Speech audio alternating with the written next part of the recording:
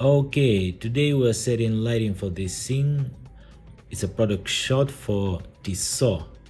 I will guide you through my process. Let's add the first light.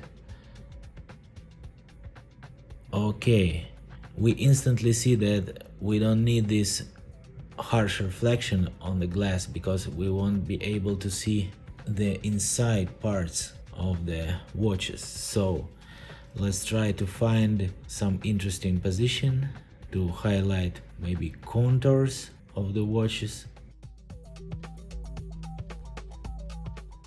And uh, yeah let's increase the size to get maybe a bit more smooth lighting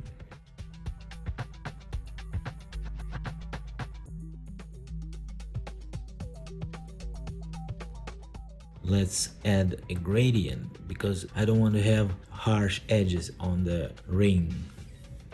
It's the most glossy part and I want my lighting to be feathered as much as possible because we will be able to uh, perceive the glossiness of the watches anyway. So okay something like that. I think that works quite well. Maybe change the position of the gradient a bit. Okay looks pretty balanced to me. Okay let's add second light.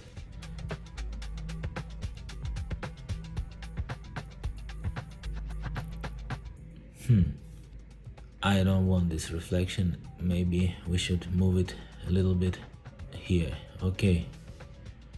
Okay okay I like how the body of the watches is highlighted, but I don't like this uh, harsh reflection and uh, hard edge on the ring, so we will just slightly reposition the light. Okay, we are getting this reflection anyway, so but we still need to highlight the body, so maybe let's try to position it from the top.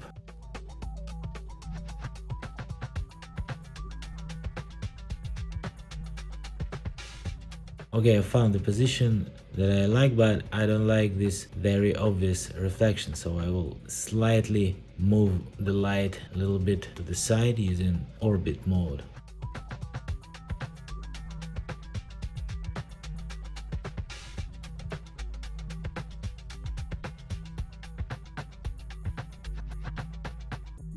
And okay, yes, let's isolate the light to see its effect in isolation. Okay, Let's smoothen the gradient.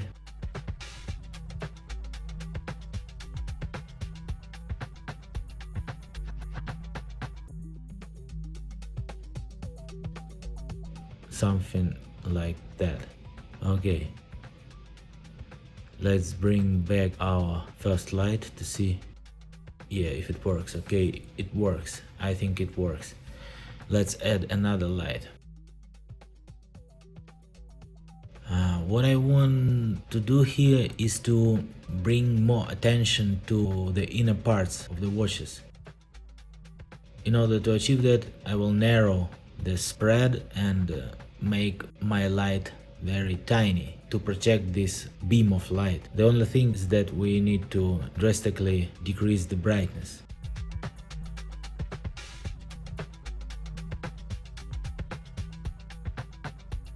And add feathering in order to our light not hit the body of the washes only the inner parts.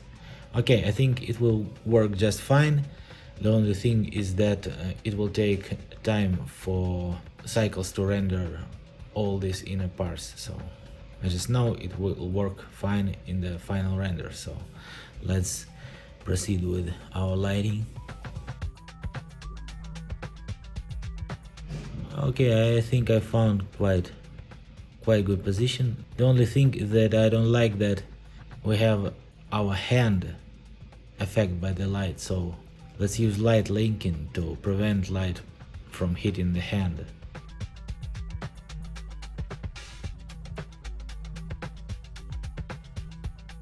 Okay, I think we have to create a flag to prevent light from illuminating the whole part of the watch.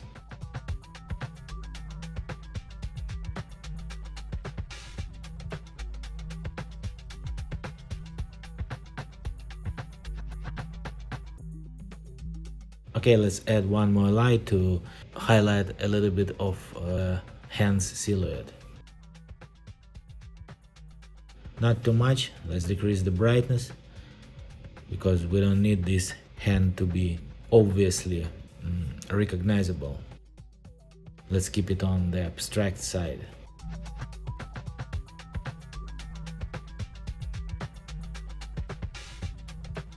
Okay, I like the position but I don't like how much space it takes. So first of all let's uh, let's exclude our watches from the slide and uh,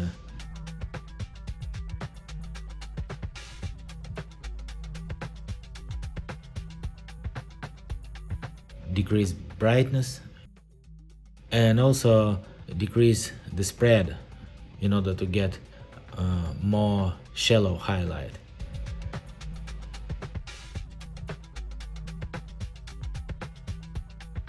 Okay, the next thing is that I want this part of the watches to be a little bit uh, more pronounced, but obviously the hand is obstructing the light, so we just exclude it from the objects that affected by this light and from the objects that produce shadows in general, so something like that.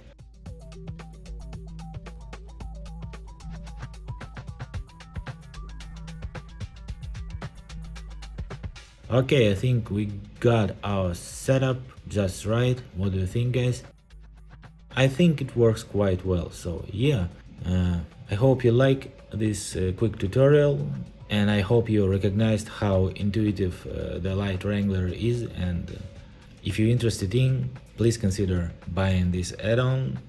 I think it will serve a great service to you and uh, and your support also helps me to faster improve their done and develop even more nice features. So yeah, see you in the next one guys.